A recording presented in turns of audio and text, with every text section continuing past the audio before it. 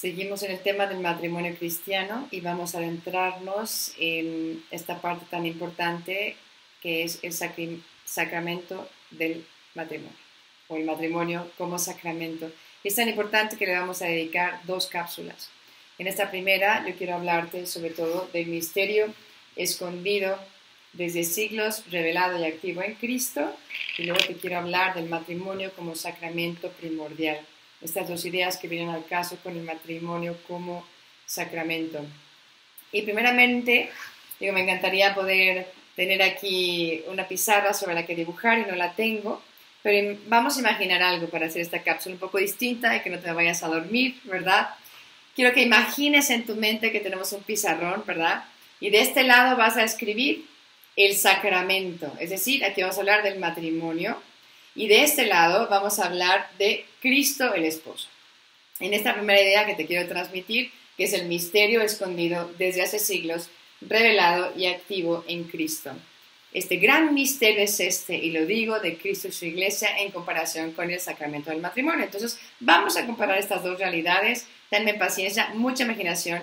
Si tienes un plumón y una hoja, por favor, ve escribiendo porque eso te va a ayudar a hacer muy claro este capítulo que mucha gente le huye, ¿no? Porque es difícil entender lo que Juan Pablo II lo está explicando y nos parece una obviedad y sin embargo es importante repasarlo. Entonces, ya que dijimos, de este lado va a estar el sacramento y de este lado va a estar ese misterio de Cristo con la iglesia, este Cristo que es esposo, vamos a ver la primera realidad.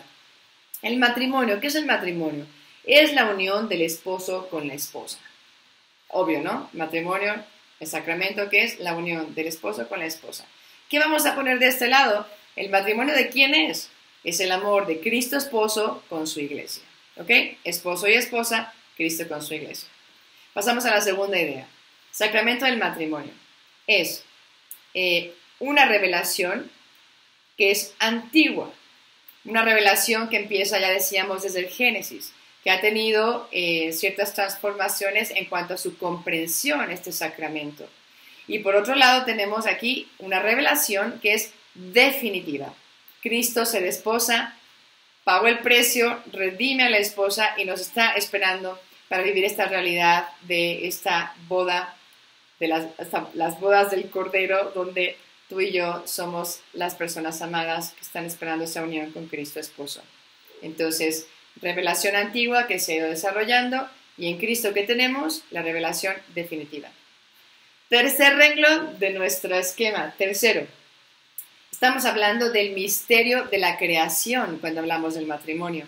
Obviamente ese misterio tan hermoso donde ellos desde la creación han sido designados como varón y mujer para ser imagen y semejanza de Dios, pero en Cristo esposo que vemos un misterio de la redención, justamente, de la redención. Entonces, de este lado vemos la creación, y yo también pensaba creación porque varón y mujer, y vemos ese superpoder que Dios les ha dado de ser co-creadores con Él. Seguimos en ese mismo misterio de la creación y sin matrimonio no hay familia y sin familia no hay sociedad. Y por este lado, este misterio de la redención que Cristo nos vino a traer. Y dentro de esto vamos a ver cómo el matrimonio, vamos nuevamente a esta cuarta idea, el matrimonio es el signo más antiguo y en este lado Cristo es el signo definitivo. Un signo es algo que apunta una señal hacia, desde siempre el matrimonio ha apuntado a esta eh, este destino eterno que tenemos todos los hombres. Y el signo definitivo, donde ya de alguna manera no necesita ser signo, es este Cristo que se ha esposado ya con nosotros y ha pagado el precio para rescatarnos después de que estábamos perdidos. Em, el sacramento de la creación que rompe nuestro corazón al romper la alianza con el pecado. Ese es de un lado. Obviamente este sacramento es un sacramento que ha tenido su historia, sus tropezones, que tiene sus topes, que tiene sus marcas y sus heridas, porque ha sido una historia donde este matrimonio, Adán y Eva, original, estos nuestros primeros padres, tenían una relación hermosa de armonía, de comunión, de amor, de perfección en el paraíso. Pero luego vino esta historia del pecado original que vino a fragmentar nuestro corazón, ¿no? a herirnos. Esa es nuestra historia. ¿Y qué tenemos de este lado? En la historia de Cristo esposo, tenemos un sacramento que renueva esta alianza que habíamos roto por el pecado. Cristo viene a renovar la alianza. Cristo es el único que podía rescatarnos, porque para reparar una ofensa hecha a Dios, necesitabas a alguien divino que reparara esa ofensa para estar en igualdad de términos. Una criatura ofende a Dios, dices, ¿quién va a poder reparar esa falta? Una criatura no la alcanza. Entonces viene a Dios, que es verdadero Dios y verdadero hombre, y entonces Él nos representa y ahora sí puede reparar esa falta y decirle a su Padre, perdónales porque no saben lo que hacen. Y nos redime y repara esta alianza como el perfecto. Necesitamos a alguien que fuera a la vez hombre y a la vez Dios. Y ese es Cristo mismo que nos ayuda a recuperar esta alianza. Em, finalmente, el matrimonio lo vemos como una, siguiente renglón, realidad visible. Y a Cristo, esposo, es una realidad en este momento invisible. Pero ambas son realidades, se fija en la palabra, es una realidad. Finalmente, em, tenemos de este lado una gracia original yo estoy parado aquí a la mitad, ¿eh? pero tenemos la gracia original que Dios nos ha dado en el origen y de alguna manera en Cristo esposo tenemos esta gracia que es la final, esta nueva gracia que crea esta nueva creación, este nuevo Adán, esta nueva Eva, que representan realmente el matrimonio que Dios quiso desde siempre. En fin, para ilustrar este sacramento misterio, vámonos al a la catequesis 93 en el número 6, donde dice, el sacramento consiste en manifestar ese misterio mediante un signo que no sirve solo para proclamar el misterio, sino también para realizarlo en el hombre.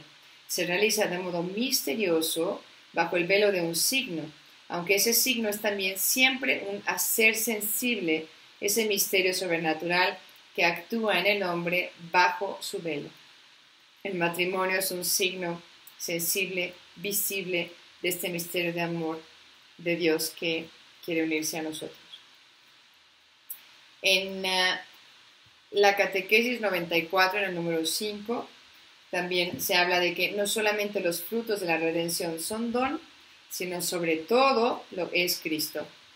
Cristo es el don mismo. Don igual a Cristo, Cristo es igual a don. Y Él es el que nos enseña cómo vivir esta relación de don entre dos esposos que se aman.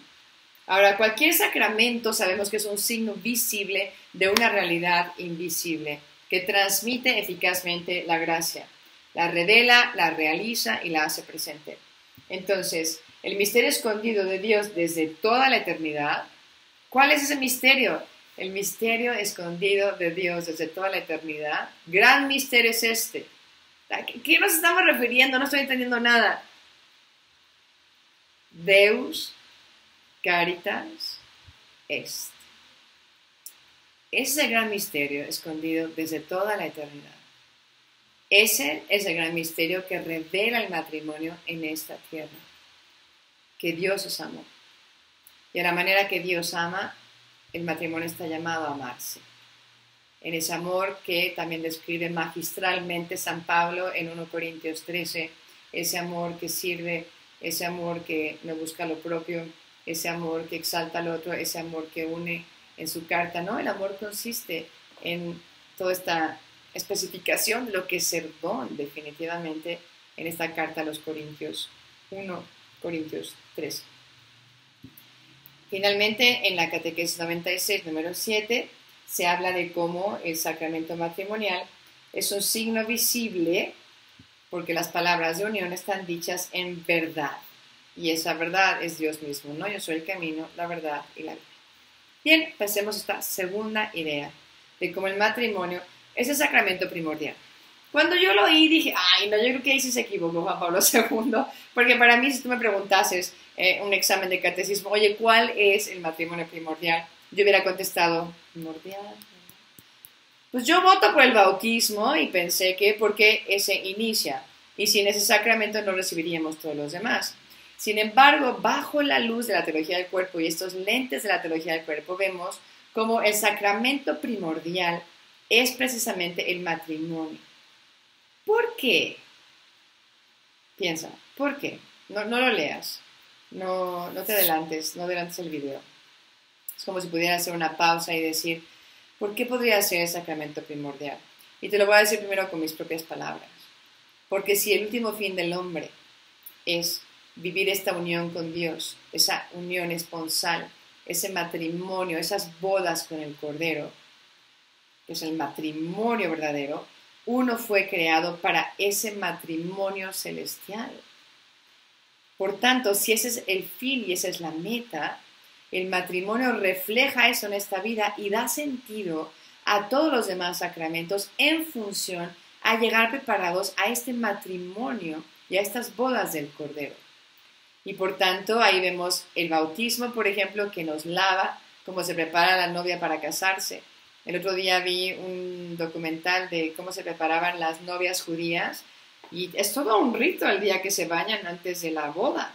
Se sumergen totalmente en una piscina, tienen que hacer ciertas abluciones con eh, eh, algunas cosas que van diciendo del Torah, eh, abluciones para purificarse, no solamente física, pero también espiritualmente y estar listas para esta unión tan hermosa que también los judíos ortodoxos comprenden eh, muy bien en cuanto a sacramento, ¿no? Em, ¿Qué más? Bueno, aquí en, en, Efesios, les voy a leer Efesios 5 de 31 al 32, dice, por eso dejará el hombre a su padre y a su madre y se unirá a su mujer y los dos se harán una sola carne. Gran misterio es este, lo digo respecto a Cristo y a la Iglesia. Y el amor de Cristo hacia nosotros es esponsal y es fecundo, este amor al que estamos todos llamados. Y finalmente, para que no nos tardemos tanto en esta cápsula, quiero leerles eh, como si el plan eterno de Dios es que Cristo dejara a su Padre y se uniera a su esposa en una sola carne, el pecado no frustró este plan porque no puede frustrarlo. El plan de Dios para el hombre y para el universo continúa a pesar del pecado. Y yo pienso como Cristo fue el primero en dejar a su padre para venir a desposarse con su esposa, la iglesia. Y de la misma manera, el esposo y la esposa dejan su propia familia, a su padre y a su madre, para vivir esta unión en una sola carne. Y este plan de amor, este plan de unión, no le echaba a perder el pecado como el mundo te grita, que ya no hay nada que hacer porque ni modo somos pecadores y, este es el modus vivendi de todo el mundo y esto que la iglesia propone de vivir en vida de gracia es un imposible. Y Cristo realmente les contestaría a todas estas personas que este amor es posible, que en realidad hemos sido creados para esto que es lo único que satisfará plenamente a nuestros corazones, a pesar de nuestro pecado, porque Dios ya lo ha redimido. Y el pecado muchas veces puede ser nuestro aliado, que nos lleva a experimentar la propia fragilidad, vulnerabilidad. Y desde ese hoyo profundo en el que caemos, alzamos la mirada precisamente clamando, Padre, ¿no? Ayúdame, eh, amor de mi vida, no me dejes aquí, ten piedad de mí, Señor, que soy un pecador. Entonces, no está peleado con el plan de salvación el que tengamos nuestras debilidades, es una constante el amor que Dios tiene por nosotros y nunca habrá ningún pecado, por más grave y fuerte que sea, que sea más grande que el amor y la misericordia de Dios nuestro Señor. Y esto hay que creérnoslo, pero de verdad como certeza que nada nos puede robar. El plan original de Dios continúa a pesar del pecado. Esta elección eterna en Cristo, ¿verdad? Esta nueva creación que es la redención.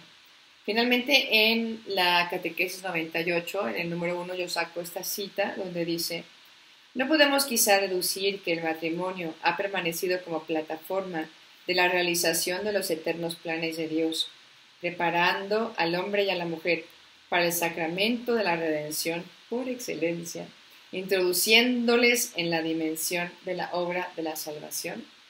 Dios nos ha salvado para poder llegar a esta boda y todos los sacramentos se ordenan a prepararnos. Ya nos los leí, pero igual que les dije el bautismo que nos prepara como ese primer baño, pues la confesión también nos lava profundamente y cada vez que vamos a, confesarnos, Dios nos regala más gracias para poder vivir esto. La Eucaristía nos va alimentando en el camino hacia ese banquete para que no desfallezcamos por ahí, como las novias, estas vírgenes de la parábola de las diez vírgenes, que no se prepararon, se les acabó el aceite y llegó el esposo y aquellas andaban en las compras. como le pasa a mucha mujer, que se pierde algunas cosas importantes por andar en las compras, pero que cuando llegue el esposo los encuentre listos, como esa novia que ha esperado al novio para llegar a las bodas del Cordero. Y cuando, ¿verdad?, esa muerte toque a la puerta, el esposo de tu alma, que es el Señor, que te ha acompañado toda tu vida, dándote el amor que ningún ser humano te puede dar, no le abras las puertas de par en par para que entre y se puedan fundir en un abrazo esponsal que no tiene igual en esta tierra. Así que es algo maravilloso lo que este sacramento del matrimonio nos revela realmente desde aquí. Gracias por ser reflejo de este gran misterio de que Dios es amor.